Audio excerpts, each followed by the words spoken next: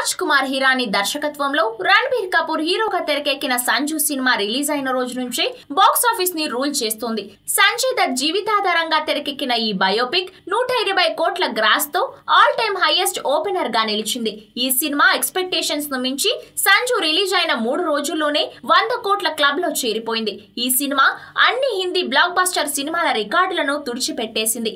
అంతేకాదు Sanju biopic Baahubali two gross రికార్డును కూడా నలభై ఆరు కోట్ల డెబ్బై ఒక్క లక్షల వసూళ్ళతో ఆదివారం బీట్ చేసేసింది. పాపులర్ ట్రేడ్ అనలిస్ట్ అంచనా ప్రకారం సంజు ఆదివారం నలభై ఆరు కోట్ల డెబ్బై ఒక్క లక్షలు కలెక్ట్ చేసింది. శుక్రవారం ముప్పై నాలుగు కోట్ల డెబ్బై ఐదు లక్షలు శనివారం ముప్పై ఎనిమిది కోట్ల అరవై లక్షలతో తొలి మూడు రోజుల్లో నూట ఇరవై కోట్ల ఆరు లక్షలను కలెక్ట్ చేసింది.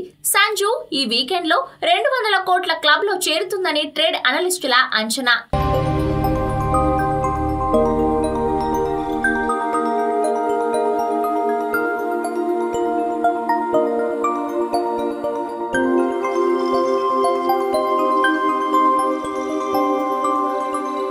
ఈ వీడియో గనుక మీకు నచ్చినట్లయితే లైక్ చేయండి.